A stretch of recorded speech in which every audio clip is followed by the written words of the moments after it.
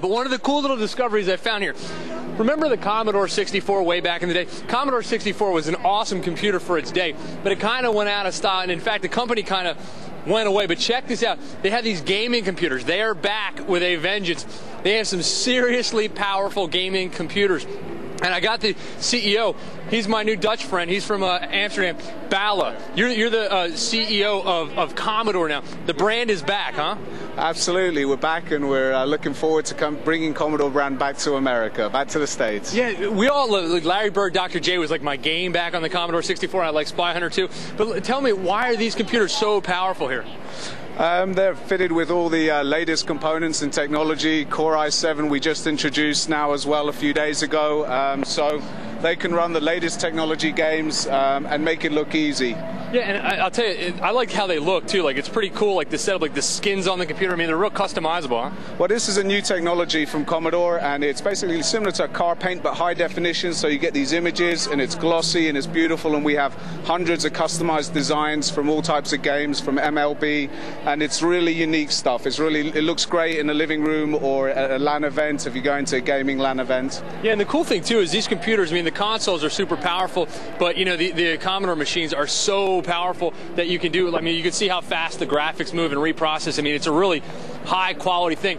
Hey, listen, I want to tell you more about the expo. You can come down here to the Pennsylvania Convention Center in Philly. It opens at noon today. Make sure you get down here. 15 bucks for a pass.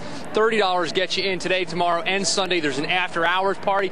We're having lots of fun down here. There's plenty to do. We're going to have an amazing time. I promise you, you come down here, you're going to get something out of it. And there's even colleges here, so there's some educational value because there's like colleges here advertising how to get into their gaming programs and stuff. So it's really exciting time to be down here, guys we uh, are having a great time, and I'm going to go uh, take off this vest because it's a little tight, and uh, my uh, man chest is sort of little it's confined. squeezed. It's like I a corset. Tell. That's why I, the corset. You see people in corsets. I feel bad for these women from the Middle Ages now. You know. Go ahead. You can take it off, Tim. Right Ooh. now. Take it off. We want to. There you go. Let it out. Ooh, let All it right. out. Let the gut out just a, a little great, bit. A Feeling great good. place to go. Hey, if you're a kid or a kid at home. Tim, how much are those new Commodore 64s? Because they used to be like $150. What do they sell for these days? those days are gone, my friend. Hey, about uh, like a basic Commodore, like th this yeah. setup right here. What are we talking about in U.S. dollars? Don't give me any uh, euros here. I need a dollars. Dollars. well, about twelve hundred dollars, and you can get a really really nice uh, system that'll really play, yeah, the latest games at a good speed, but then you can get up to the really latest technology, and it really depends what you're looking for. Well, that's pretty good, though. 1200 bucks for the entry level bill. That's pretty good for like the basic machine,